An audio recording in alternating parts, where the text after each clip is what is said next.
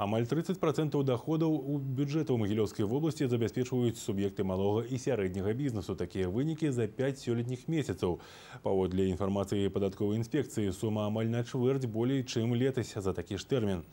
За такімі лічбамі стаяць праца індывідуальных прадпрымальнікаў і прыватных прадпрыемстваў, якія вырабляюць самую розную прадукцыю, напрыклад, у крычаве, вяроўкі і канаты. Ну, мы сейчас в данный момент сделаем э, канатную веревку. Проста ідэя вырабляць вяроўкі і канаты для гаспадарчых патрэбаў нарадзілася ў крычаве. Пяць гадоў таму прадпрыемства арганізавалася і спраўна працуе. Хорошее место работы. Ну, неплохое, да. А зарплата? Но зарплата устраивает. На вытворчасці вяровак працуе толькі 5 чалавек. Аб'ёмы залежаць ад замоў партнёраў у тым ліку і ў рассіі. Шмат чаго залежыць ад сітуацыі ў эканоміцы. Калі на поўную магутнасць працуе абутковая фабрыка, то там патрэбна больш крычаўскай прадукцыі на шнуркі.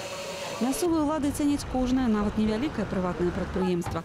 Не толькі таму, што яно плаціць падаткі ў бюджэт, але забяспечвае людзей працай і заробкам, а таксама наводзіць парадак у самым прамым сэнсе. Здесь была раньше сельхозхимия. Это здание по аукциону досталось за одну базовую величину. Здесь, конечно, вложилось, э, до- досталось в очень плачевном состоянии, а сейчас приведено все в порядок. Вложились, конечно, большие деньги, это все еще до сих пор еще влаживается, но потихонечку, так, это, ну, сразу много нельзя вложить, но потихонечку мы тут улучшаемся, хорошеем.